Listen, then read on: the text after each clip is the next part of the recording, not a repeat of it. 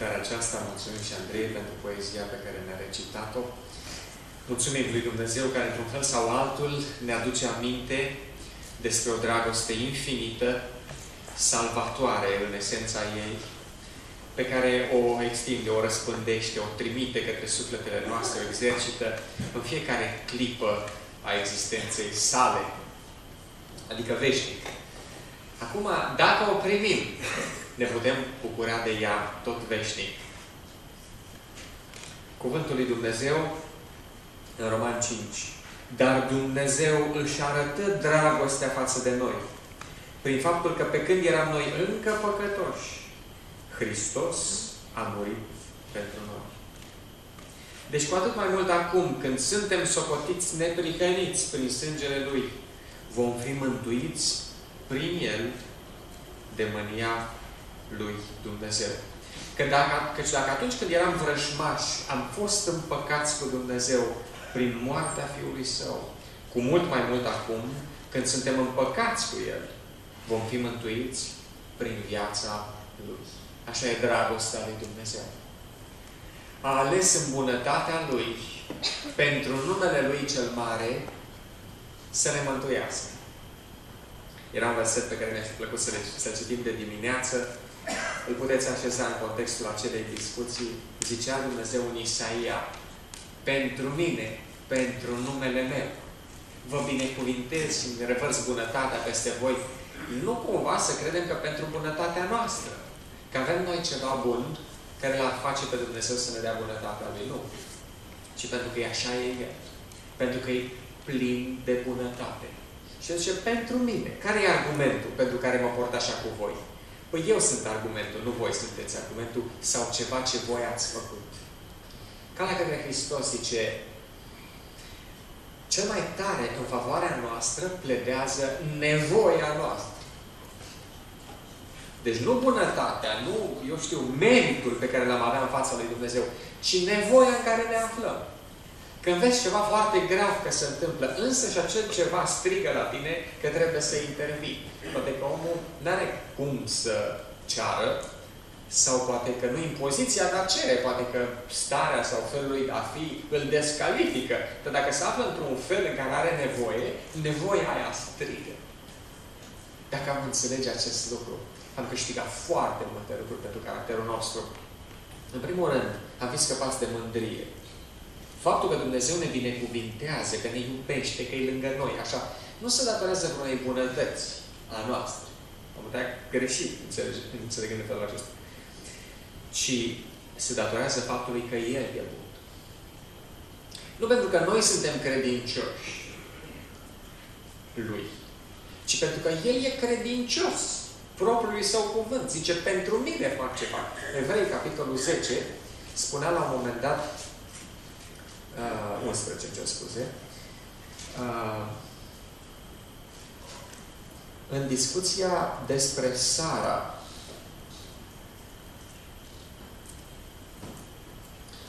prin credință, Sara, cu toată vârsta ei trecută, a primit putere să zămislească, adică să facă un copilaș, fiindcă a crezut, și acum să vedem, în credincioșia celui ce-i făgăduise. Ce a crezut Sara? Că sunt și o bună, nu sunt ca alte femei din Mesopotamia sau de nu știu unde, din Canaan. Eu sunt altfel. Și de aia m-am căsătorit cu Avram, care și el e altfel decât altceva. Nu asta a crezut. Care vreun merit. Ce mai știa ea foarte sigur? Că în mod normal o femeie la 90 de ani nu are cum să-i mai treacă prin minte măcar un vis care mai putea avea un copil. Simplu. Și ce a mai înțeles ea? Ce a mai crezut? Nu că ea poate face ceva, ce să mai faci la 90 de ani? ci că Dumnezeu nu doar că poate, ci că va face ce a promis. Pentru că așa e El, infinit în bunătate. Când Dumnezeu promite, zice că își ține cuvântul. Asta înseamnă credincios. A promis ceva să ține de cuvânt. Și zice, Sara a crezut în credincioșia celui ce îi făgăduise. Frații mei, avem de crezut în credincioșia celui care ne-a promis cerul și caracterul Domnului Hristos, care să se potrivească cu cerul. Degeaba ne-a băgat Dumnezeu în cer dacă am fi așa cum suntem noi astăzi. Slavă Domnului că nu ne vede cum suntem, pentru că ne vede prin Hristos. Deci așa, prin Fiul meu vă văd fără păcat. Și doi, tot prin Hristos vă iert de toate păcatele. Și trei, și tot prin Hristos vă dau neprihănirea Lui. Prin urmare, vă fac potriviți pentru cerul Domnului Hristos. Așa că vă aștept, copii. Mai e ceva pe listă? Ar mai trebui ceva făcut? Și aia facem pentru voi. Ce mai vreți, copiii mei? Ce mai inventează diavolul să vă țină departe de mine și de dragostea mea? Mai discutam așa cu tinerii din când în când, în diverse ocazii, când mai mă întâlnesc cu câte unul, și îl întreb, ei, când ne chemi? Referire la botez, pentru că e o decizie care fiecare om o ia singur, în dreptul lui. Nu poți să-l tragi de mânecă. Poți întreba, putem discuta. Fiecare decizie se ia exclusiv între sufletul lui și Dumnezeu. Și câteodată să simte bătălia aceea între aș vrea și pe de o parte nu știu cum o să iasă, să fie, să nu fie, cum e, cum rămâne. Mă doare treaba asta. Problema e că n-ai cum să hotărăști în dreptul altcuiva. Întrebarea este, ce te-ar putea despărți de dragostea lui Dumnezeu? Astăzi, nu poi mâine. El a hotărât, zice, ne-a hotărât mai dinainte. Superbe acele pasaje ale Scripturii, nu? Zice, uh, ne-a cunoscut mai dinainte și pe ceea ce i-a cunoscut, i-a chemat și pe ceea ce i-a chemat, i-a făcut, i-a socotit neprihăniți și pe ceea ce i-a socotit neprihăniți, i-a și proslăvit.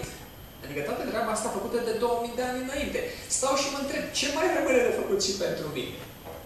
Să scap din nou în cap și zice, dar dacă și cu parcă, nu știu cum, da. Dumnezeu e credincios. Zice că putem cel mult amâna planurile Lui. Nu le putem contrazice sau călca în picioare. Cel mai groasic amânare este să nu se mai împlinească planul cu mine de să amână atât de mult încât mor în păcat și să împlinește planul cu altcineva. Dar Dumnezeu își va împlini planurile de dreptate și de pace cu oameni. Nu pentru că sunt buni, ci pentru că El e bun. E plin de bunătate. Și pentru că copiii au venit după amiază și ne-au bucurat sufletul cu cântările și cu poeziile și cu meditațiile doar din cuvintele sfinte ale Domnului, aș vrea să le spun o întâmplare adevărată care nu s-a petrecut de foarte mult timp în urmă, probabil că sunt deja câțiva ani, nu mulți, mai puțin de șase, și pe care eu însumi nu mai țin minte foarte bine, pentru că n-am reușit să o mai citesc încă o dată. Am citit-o în grabă cândva, am rămas uimit, dar începe să se șteargă cumva acolo în minte. Mi-am adus astăzi aminte de ea, însă n-am găsit-o din nou. Se povestește despre un telefon. Copii, auziți aici povestea. Adevărat. Telefon. Un om în Statele Unite ale Americii primește un telefon în miez de noapte de la, nu vreau un prieten care cere ceva, de la cine? De la autoritatea de sănătate. Nu știu cum se numește treaba asta la americani, deci în și cineva suna. Și spunea, domnule, uh, v-am găsit în baza de date a județului nostru, a, eu știu, regiunii noastre, că aveți un anume fel de sânge care poate salva de la moarte un copil. Ce ziceți? Ne ajutați? Omul nu se gândește, băi, oameni buni, eu mâine la șase plec la servici, bată vina, știi, la ora asta, nu știu cum. Nu care în decursul acelui articol nu scrie explicit că e creștin, care se îmbracă repede și ia mașina de garaj și fuge până la primul centru de, eu știu, sănătate, de spital, de ceva, unde îi se ia sânge, vine un elicopter între timp și ia sânge respectiv și pleacă un avion.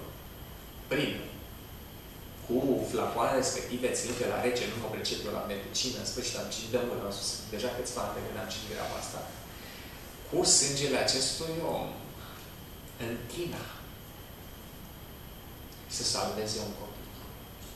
Și în sfârșit procedee medicale și nu știu ce, și omul acum interesat, începe să întrebe. ce cu copilul meu?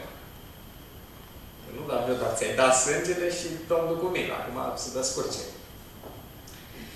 Și primește alte telefoane din care înțelege că e mult mai gravă treaba de cum pare și că copilul ăla încă e în primești și că și încearcă să liniștească, să zică problema lui și a părinților lui, cu păcatele lui, pe partea la pământului.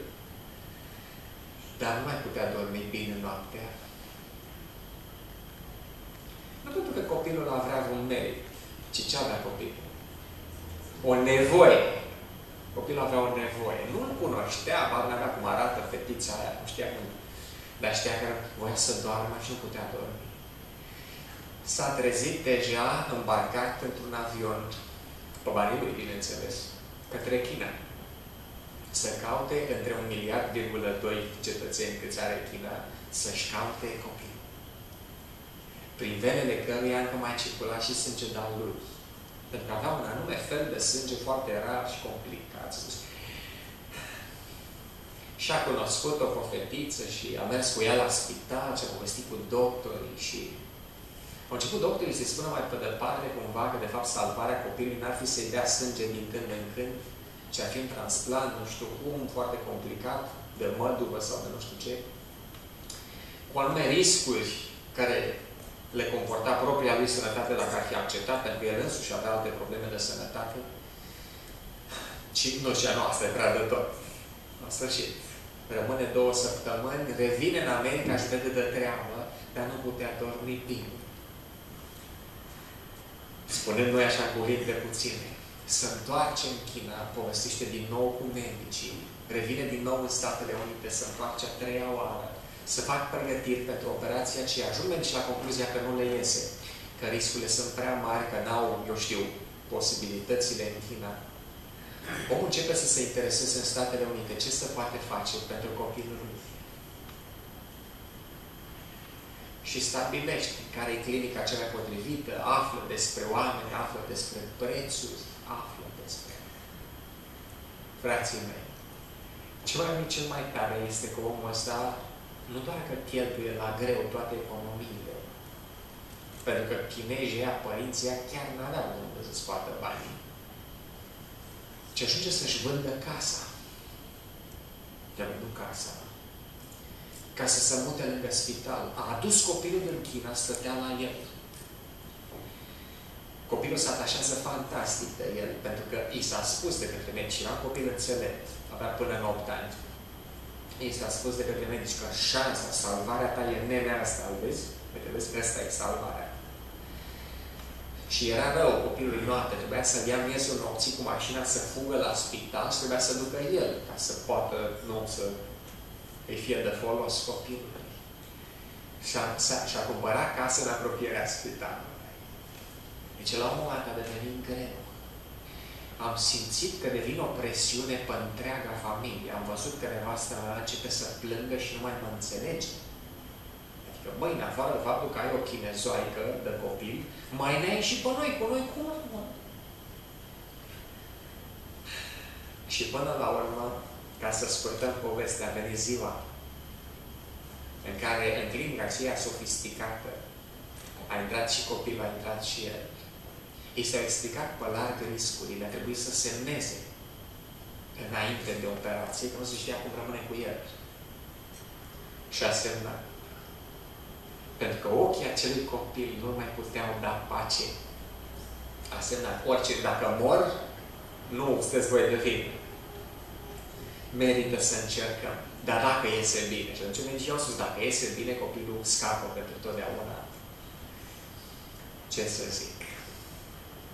Operația a avut succes, nu știu câte ore, să și nu mai știu detaliile.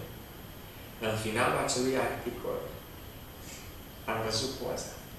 Copilul avea deja 12 ani jumate, normal, la locul lui, în America. Motat. Adoptat.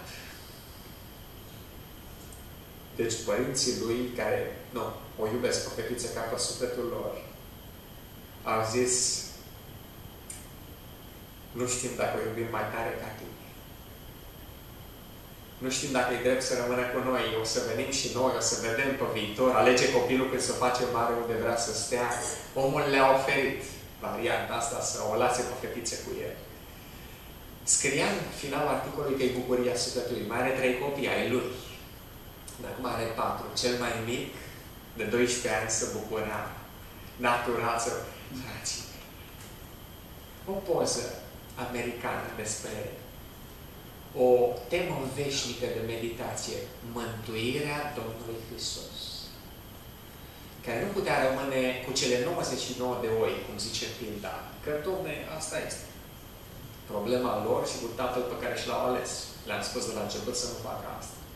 Nu putea. Zice, a disprețuit rușinea. Nu? s-a dezbrăcat de sine însuși, s-a făcut rob, a făcut de rob, s-a făcut asemenea oamenilor și a rămas ascultător ca un om, deși era prințul, era împăratul slavei. S-a făcut ascultător pentru că așa a vrut el. În locul oamenilor, aici pe pământul nostru. Și a fost ascultător până la moarte. Și încă moarte de cruce. S-a așezat de bunăvoie pe patul, nu de operație, de tortură. Nu o sub anestezie, ci sub ocara și disprețul celor pe care venise să-i salveze. Sub scuipările și blestemele și bajocurile lor. Și a spus ultimile puteri de viață, iartă-te, Tată. E singura mea dorință. Spuneam despre Moise că semăna cu Domnul Hristos după ce zeci de ani și a aprofundat inima să-L cunoască. Și care a ajuns să cunoască atât de bine încât s-a trezit că spune exact la fel. Iartă-i, Doamne! Iar dacă nu, ce a zis Moise? Ca Domnul Hristos. Mai bine să nu mai am parte de mântuire. Șterge-mă din casa, din cartea ta. Mai bine mor. Să nu mai știu cum să trăiesc fără ei. Să știu că o cară a ajuns pe numele Tău, că nu-ți poți salva copiii. Să nu trăiesc cu o cară, să mai bine mă ștergi. Da. Așa este mântuirea, frații mei. Așa este Domnul Hristos. Câtă dragoste! Venit aici între noi oamenii, încercând să ne aducă prezența cerului, realitatea cerului, pe limba noastră, 2000 de ani sărac iubit pământului, în cele mai potrivnice condiții a locuit pe acest pământ. Plin de har și de adevăr. Și ne-am privit slava Lui, spunea Apostolul, o slavă întocmai ca singurului născut din Tatăl. Asta era Domnul Hristos. Să reprezinte caracterul, slava Tatălui. Și la modul foarte practic, pentru că eram în primejdie de moarte veșnică, să-și dea sângele pentru noi. Nu ca să se amestece cu sângele nostru să mai trăim o vreme, ci ca să fie doar sângele Lui prin venele noastre. Pentru că eram morți deja. Efeseni, capitolul 2, noi eram morți în greșelile și păcate noastre. Dar Dumnezeu, versetul 5, care e bogat în bunătate, pentru dragostea cea mare care ne-a iubit, nu pentru bunătatea noastră, nu? argumentul nu e în noi, ci e în El. Încă o dată subliniez, al 10 oară astăzi. Pentru dragostea cea mare cu care ne-a iubit ne-a mântuit și ne-a pus să ședem împreună cu Hristos în locurile cerești. Prin har suntem mântuiți. Am încheiat citatul. Dar Dumnezeu care e bogat în bunătate ne-a înviat în Hristos Iisus. A murit El ca să ne învieze pe noi. Și a dat El sângele ca să circule prin venele noastre, curățitor de principiu și de nenorocirea păcatului. Zicem noi că sângele Domnului Hristos ne izbăvește, ne curățește de orice păcat. Nu așa? Așa spune Biblia. Dar nu doar așa că sângele de acum, nu știu, 2000 de ani, nu, atâția ani în urmă, ne șterge vina. Mult mai mult decât atât. Curgând prin venele noastre, curgând în viața noastră, puterea aceasta a Duhului Său de viață, simbolizat prin sângele Lui, îndepărtează nimicește puterea păcatului din noi. Schimbă natura noastră. Transplant. Nu ca în Chicago, nu știu unde, în America, cu nenea asta de care v-am povestit, ci ca în constelația Orionului, un, un transplant pe care numai Dumnezeu îl poate face. A firii, a minții, anume în subconștient, ce mai greu de făcut, imposibil de realizat asta, după mintea oamenă, n-ai cum să explici. Dacă schimbi mintea cuiva, deja nu mai e aceeași persoană, nu devine cealaltă, că totul e în minte, acolo te reprezintă cine ești. S-a dovedit într-o grozavă nenorocire, nu? Care a pățit-o un anume muncitor la căile ferate americane în anii 50 ceva. Când uh, se lucra la o uh, dinamitare a unui munte acolo, zice că nenea muncitorul ăsta trebuia să îndese într-o gaură pe care o făcea cu un bodiu anume, în gaură ce trebuia să îndese praf de pușcă și doar cu un fitil, nu, care ieșea afară, să ducă la să dea foc, să se ascundă toți. Și pe urmă ardea și exploda muntele și nu puteau mai departe să continue lucrările căii ferate. Acum, ca să pocnească bine stânca și să își facă el treaba, acel praf de pușcă trebuia îndesat. Nu îl puteai bate direct. El, după ce punea praful de pușcă, punea nisip și după aceea cu o tișă lungă, așa care și-a făcut să expre pentru treaba asta, împingea acel nisip ca nisipul să împingă praful de pușcă. Făcea asta de ani de zile, de mii de ori. Știa să facă perfect, știa ce a de făcut. Un om de treabă, serios, familist, etc. Ce s-a întâmplat? S-a întâmplat că într-o zi bătea, o făcuse de mii de ori, și deodată mergeaua aia de un metru aproape, lungime 80 de centimetri, a sărit din munte, pentru că a explodat în munte deja, și a trecut prin o rază, așa cumva, și a ieșit pe aici prin frunte. Și spre uimirea medicilor n-a murit.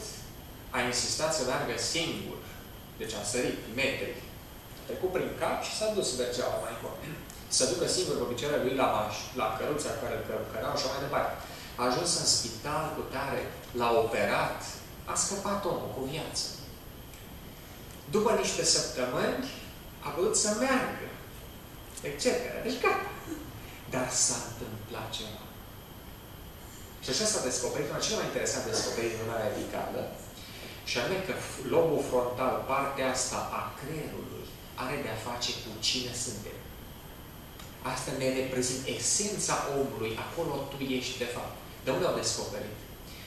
Omul nostru, deși se numea la fel, deși răspundea la aceleași nume, deși avea amintiri și acea minte, ce a fost și cum e cu el, deci aparent era în regulă, a început să devină alt om a devenit foarte vulgar, vorbea urât cu toți, a început să foarte groasnic în familie, s-a luat de băut, deci era alt om.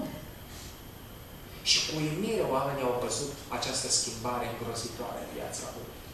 Și așa și-au dat seama că fiind distrusă partea asta a creierului, nu? unde el avea principii morale, unde el avea balanța lui între bine și rău, ca orice om, avea bunul lui simț, avea cea mai dezvoltată parte a minții omești aici în frunte, nu? S-a distrus, a ajuns un prăpădit. Până la a murit. La câțiva ani mai târziu, uh, și așa încheiem uh, înțelegerea acestui fapt. Deci transplant de low front, ce să zici, n-ai cum să explici. Hai să vedem în cuvintele Scripturii ce înseamnă treaba asta. A doua Petru, un pescar întâlnindu-se cu puterea transformatoare a Domnului Hristos, a jertfei și învierii Lui, spune târziu în, în scrisoarea adresată Bisericii, a doua Petru, capitolul 1. Dumnezeiasca Lui putere ne-a dăruit tot ce privește viața și evlavia prin cunoașterea Celui ce ne-a chemat, prin slava și puterea Lui. Cum ne-a chemat? Pentru meritele noastre, pentru bunătatea noastră, nu, ci pentru caracterul Lui. Prin slava Lui ne-a chemat. Uite așa a vrut El să ne scape. Dacă nu ne împotrivim, chiar ne scapă și ne transformă. Atenție mai departe. A Lui, adică Domnului Hristos, prin care El ne-a dat făgăduințele Lui, nespus de mari și scumpe, ca prin ele să vă faceți părtași de fire Dumnezeiască. Care este ținta Evangheliei Domnului Hristos? A făgăduințelor, a promisiunilor care ți le face Dumnezeu. 31 de mii de făgăduințe în toată Scriptura. Ce spune Dumnezeu? Uite asta promit eu pentru tine. Sara zice că a crezut în credincioșirea celui ce promite. Am o întrebare pentru noi astăzi. Crezi pe Dumnezeu de cuvânt? Când îți spune îți făgăduiesc sau îți promit că rezolv treaba asta în inima ce zici, mă lași? Și cealaltă, și cealaltă, și te schimb așa, și te fac așa, să semeni cu chipul slavei Fiului meu. Până ajungi Efeseni, capitolul 3 și capitolul 4, la înălțimea staturii plinătății în Hristos Iisus. Nu vorbim prostii aici. Niciun om niciodată n-ar putea ajunge singur la ceva ca să merite fi numit așa ceva. Dumnezeu însă zice că vă fac eu pentru voi. Nu trebuie să vă las că voi să faceți că nu puteți să faceți nimic. Transplantul acesta de natură, firea să fie schimbată, zice prin care ne-a dat făgăduințe nespus de mari și scumpe, ca prin ele să vă faceți părtași fiii dumnezești. Și acum, înainte de închiderea sabatului și de ocazia de a cere și noi Domnului aceste binecuvântări în această seară direct pentru sufletele noastre rugăciuni, să vedem câteva uh, aspecte în acestei transformări. Ce înseamnă să-L primim? Să mâncăm trupul Lui și să bem sângele Lui.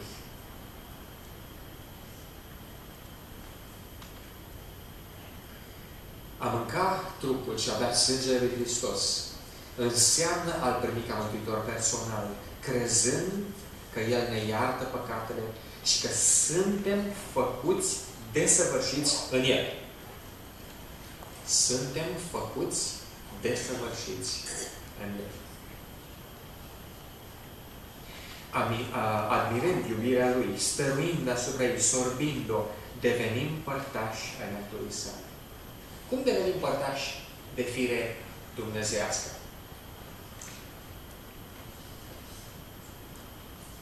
Zice, admirând-o,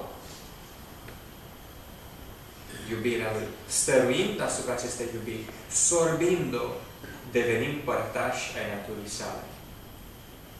Ceea ce hrana este pentru corp, trebuie să fie Hristos pentru suflet.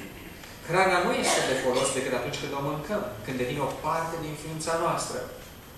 La fel și Hristos, atenție, Hristos, Creatorul Universului, n-are nici o valoare pentru noi. Câtă valoare poate avea Hristos pentru noi sub clauza aceasta? Hristos n-are nicio valoare pentru noi dacă nu recunoaștem ca fiind al nostru Mântuitor personal. O cunoaștere a Lui din teorie nu e de nici un folos. Nu că n-ar fi bună învățătura, teoria. E bună că prin cuvânt vine cunoștința lui Dumnezeu. Dar doar cuvântul, luat superficial, nelăsat să-și facă puterea Lui transformatoare, treaba Lui în inima noastră. E de niciun folos. Zice, Hristos n-are nicio valoare pentru noi dacă nu recunoaștem ca mântuitor personal. A venit Domnul Hristos să salveze pe oameni. E adevărat. Și-a dat viața, e adevărat. Și-a dat sângele, e adevărat. Dar nu pentru mine. De ce? Pentru că atunci când mă cheamă astăzi, mă primești cu tărescule, îți spune pe nume. Zici, Doamne, știi? Și da și nu. Nimeni nu spune direct nu lui Dumnezeu, suntem creștini cu toți. Frații mei, haideți să ne plecăm, în fața dragostei